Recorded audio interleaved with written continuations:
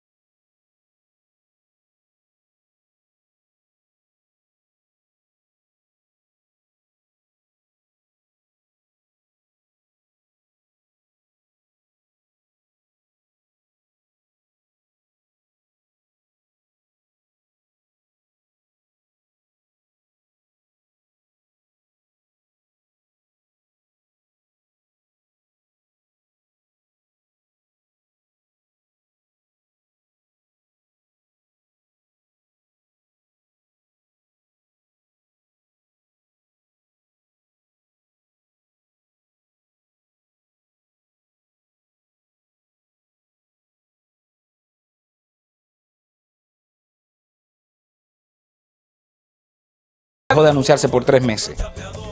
Y fue para mandarme un gancho a ver si era verdad que yo era su amigo.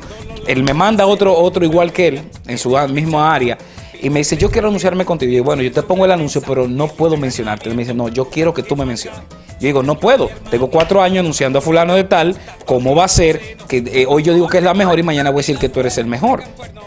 Y me dijo, no, te voy a triplicar lo que tú vas a hacer. Y no lo hice. Sumamente importante. Al final tiene siete años conmigo ese patrocinador. Gracias a Joselito Sport. Es bueno, Joselito. José Chavarría excelente empresario, excelente, con un corazón. Mira, da muchas cosas y no se sabe. Y él no, él no le gusta, no le gusta eh, eh, que, lo sepa la gente. O sea, Dios bendiga el corazón de Joselito y de toda su familia y su empresa. Mira, te está saludando Ferrera, que está en sintonía, no sé de qué pueblo. un saludo, gracias, está en sintonía contigo. La gente por aquí dice, John, mi hermano, por favor, dale saludo. John, dale saludo a de parte de Tito Bejarán. ¿Sabe oh, Tito Bejarán, claro. De los Bejaranes son buenos todos. Ya, eso es bueno. Yo no conozco. Oh, Tito, mi hermano. Los Bejaranes son buenos. Dice también Carlos Manuel, un saludo especial. El Zafiro. ¡El Zafiro! Mírate, hay muchos cantantes, muchas orquestas. Otros que lo hacen, no cantan, pero lo hacen bien. Sí, sí. Sumamente importante. Tú tienes la, la suerte que tiene un medio fuerte que puede, tienes un video, debo felicitarte. Dame un aplauso a ese video. A Jonathan Hernández. el mejor. Jonathan Hernández. Sí. ¿Tú lo, conoces bien. Eres, sí, es un blanquito, medio artístico. Sí, yo lo conozco. Saludo especial para Jonathan. Eso me gusta. A mí me lleva John Berry, alcalde. Tú lo conoces bien. Tú lo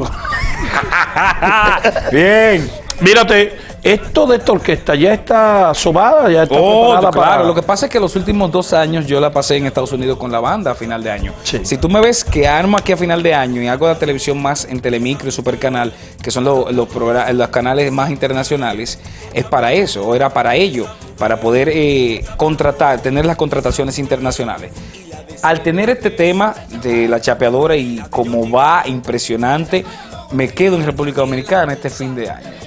Totalmente. No en tu país, en tu país. país como debe Mire, que voy a hacer una pregunta, espero que lo traiga fricciones con un amigo que está mirando. Eres el máster de la calle en esto de entrevista. Te respeto cuando vas a hacer un reportaje a los negocios, veo que te compenetra tanto con la persona, veo inclusive en Estados Unidos, tiene algunas personas que, algunos restaurantes o bares que van y hacen un espectáculo. Emilio Ángeles, por otro lado, suele llamarse el máster de la calle. No de los bolsillos. Porque yo lo hago sin cobrar y Emilio cobra hasta la pica de ojo. Es verdad. Sí, sí, sí. Emilio es mi hermano, ¿no? no, no, Emilio. Ojalá yo tener ese don que tiene Emilio. Sí, Emilio lo saca de los bolsillos. Sí, sí, sí. Lo atraca al final, si no lo saca. Como el Pachá. El Pachá va y te mete la mano al empresario. ¡Fua! Son muchos cuartos para ti. ¡Fua! Sí, eso es verdad. Mírate, ¿tú no sientes tener competencia en la televisión? Sí, claro. Claro, claro. ¿Para ti quién es tu competencia? Eh, Porque todo el mundo tiene una gente que... Normalmente en las mañanas lo veo en la noche, eh, en el espejo que está encima de mi cuarto, en el techo. ¿Cómo? Esa es mi competencia.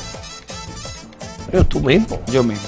Pero no por mal lo digo. O sea, eh, es que poco comunica. Tú sabes, te voy a decir de quién soy fan.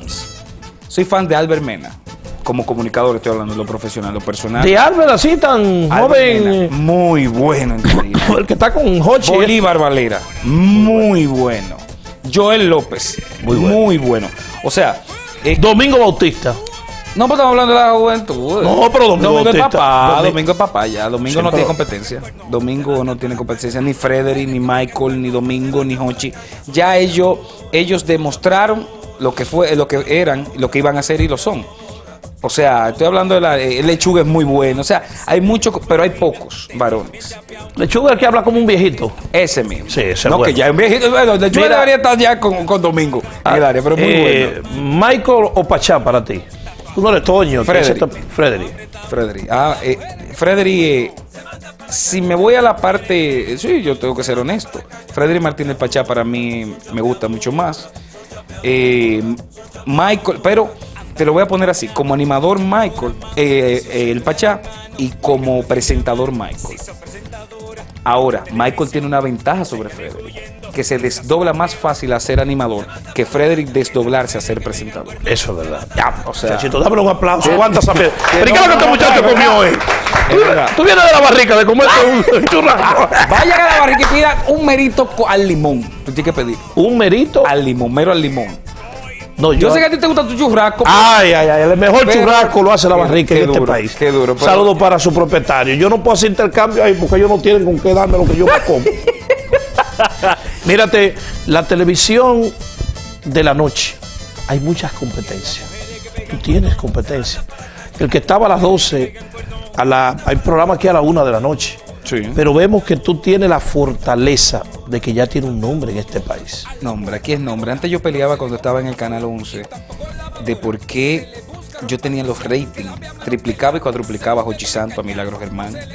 A milagro. Sí, sí, sí, pero no por mal lo estoy diciendo ni por jactancia, sino real. Mi rating era de 4.3.7 diario. Pero no tenía nombre. Yo decía, ¿por qué no tengo la facturación que debería tener? Y todo en, este, en esta cultura de nosotros es nombre. Nombre. Aquí no importa ya que, el- que tú el rating lo tenga, que con un punto menos saque petróleo. Está buena Eh, esa. ya es nombre, tú te mantienes con el nombre, las empresas entienden que si tú eres constante, entonces eh, pueden tener su producto. Aquí también es las relaciones humanas, que tú tengas las relaciones con el dueño de la- del sitio, no como en otros países, que es por rating. Por rating. Te iba a hacer una pregunta un poquito complicada, No, eso es con tu grupo. Mira, a veces cuando uno está en una cadena le es difícil ir con su orquesta a otras cadenas internacionales. ¿No te afecta ir a otra cadena estando en Telemicro? No sé, porque depende cómo lo tome la